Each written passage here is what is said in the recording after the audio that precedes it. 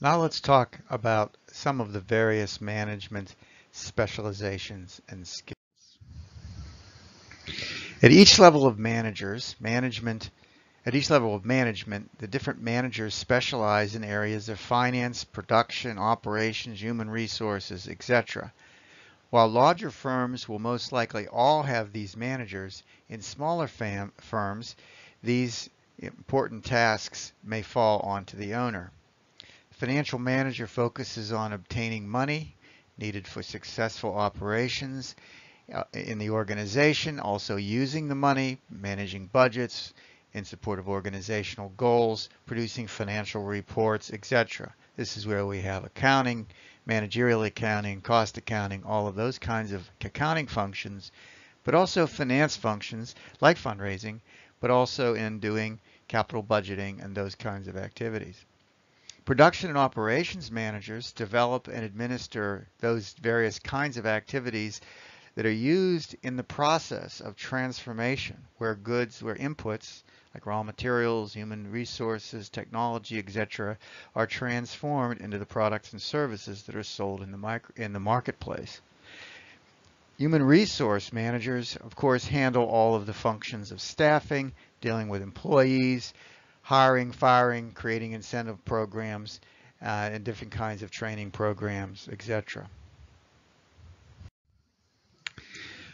Also, we have marketing managers. They're responsible for product planning, product management, pricing, promoting their different products, making them available to customers, there's, uh, they, they also handle the distribution or the placement of the various products and services in the marketplace, often called the three P's of management, product or of marketing, product, placement, pricing, and promotion. Also, we have information technology managers, increasingly important, implementing, maintaining the, the technology infrastructure used by people, their computers, the operating systems underneath, increasingly the secure the cybersecurity implementations in organizations.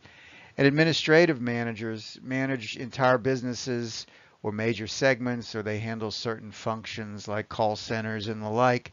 Um, generally at a higher level when someone's managing other market managing marketing information technology product operations when they're managing those managers they're often called general managers which have which operate managing a whole bunch of different functions. General management is a pathway to the C-suite, up to the CEO and the COO type of functions.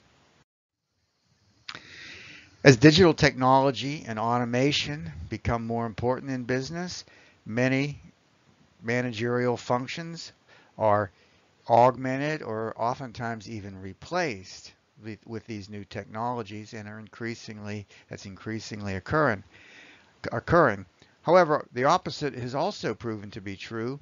Managers can still be necessary, but they have to be very, very good at using these technologies. Technology and technical leadership skills are valued more highly among today's managers as their former roles of overseeing employees on a production line have declined and they now have to manage the technology implication and the interface and communication among employees. These duties are now delegated to employees who oversee the operations of the, of the machines at, on the production lines in various ways. There are also different types of managerial roles.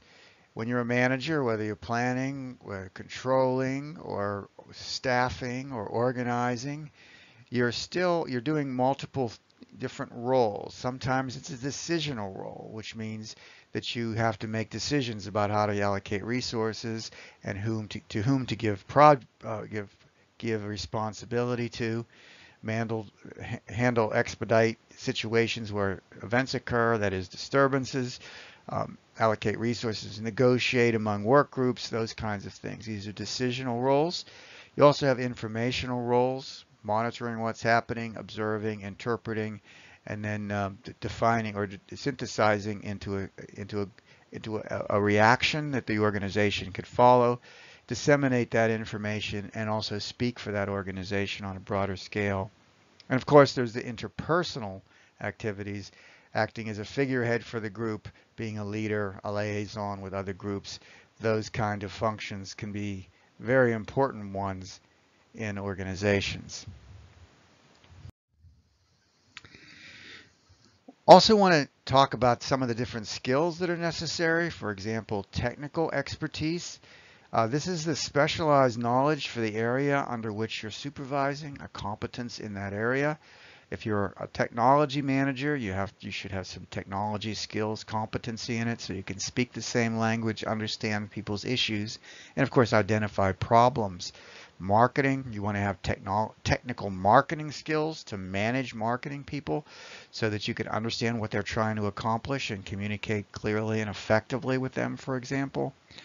Mostly technology expertise is necessary at first line. It becomes also necessary in middle management in many ways.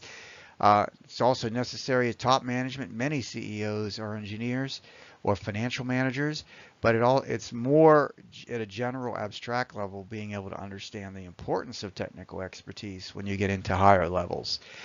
Never underestimate how important it is to understand the technical details of the organization that you are supposed to manage. Other types of skills are also necessary. Conceptual skills, for example. These are the ability to think in abstract terms, to be able to organize thoughts into a pattern that you can use then to interpret, understand, and communicate to others. This is needed more by top level managers and middle managers, but certainly it's a skill that you can develop at the lower, uh, in a, in a line manager Uh, operation, which then becomes an important reason that you're promoted into higher roles because you can conceptualize the needs of the business at an abstract level, which can become quite important to move the company into the future. Talking about a specific manager, for example, the financial managers are responsible for obtaining necessary funding for organizations to succeed and, and the like. Therefore, you need technical skills, the, being able to understand the, the, specifics of a financing contract, for example, uh, the, the rates and the fees and the like, uh, and also the time value of money issues, which we get to later in the course. Uh, but you also have to have, if you're more senior, conceptual level to understand the kind of financing that's necessary and how you apply different kind of funding to different types of problems. Example, a funding manager might of a city might hedge funds necessary, look at various kinds of approaches. You might want to hedge insurance or interest rate risk or transit uh, or uh, exchange rate risk in foreign markets, understanding those details, but also, as importantly, understand when to use these different types of technical skills. There's also analytical skills. Uh, this is the ability to identify relevant issues, to recognize their importance and understand the relationships between those important items. Also to perceive the underlying causes of a given situation Analytical skills are most important at the for the success of top level management because you're and often resolving ethical issues that require analytical skills. But also these are important as you go into middle management and also online management. So all of these skills can you can develop early in your career, grow them as you promote it as you're promoted up into higher levels of accountability and authority. We can never forget the importance of human relations skills. These are the skills that allow you to be effect to effectively work with people. It's the ability to work with them and deal with individual needs and individual perspectives and personalities, both inside and outside the organization. They're especially important in organizations that provide services such as hospitals, airlines, and banks, where interaction with customers and stakeholders is an important part or enabler of the success of the business. Those of, who relate to others can communicate well with them. They can understand their needs, show a true appreciation for what others are trying to accomplish and what's important to them. And these individuals are generally more successful than managers who are unable to do or lack some of these skills. Important things to hone earlier, early in your career, being able to work with and and help help make successful groups of diverse individuals with diverse talents and perspectives.